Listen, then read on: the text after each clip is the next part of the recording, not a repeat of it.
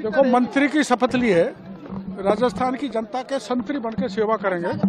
सदैव जनता के बीच में रहेंगे। उनकी समस्याएँ सुनेंगे और उनका समाधान करेंगे।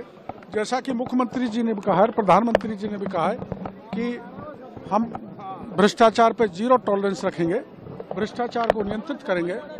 जवानों का जो भी पेपर हो, वो पेपर लीक नहीं हो, ये सुनिश्चित करेंगे। और महिला का मान सुरक्षित रहे, कानून की स्थिति बेहतर रहे।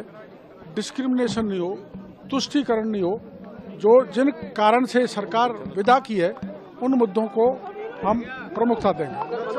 एक बहुत बढ़िया एक अवसर है राजस्थान की जनता के लिए सीधे सीधे डायरेक्टली काम करने का। और मैं उसके लिए प्रधानमंत्री मोदी जी को, नड्डा जी को, अमित शाह जी को और सीएम साहब को धन्यवाद देता हूँ। ये अवसर कभी कभी आते हैं जीवन के अंदर। और जैसे मैंने सेना में काम करा है, पूरी तरह से समर्पित, या खेलों में पूरी तरह से समर्पित, ये पाँच साल जो जनता ने अभी दिए हैं, इसमें पूरी तरह से समर्पित होकर, राजस्थान की सरकार, राजस्थान के सरकार के अधिकारी पूरी तरह से उपलब्ध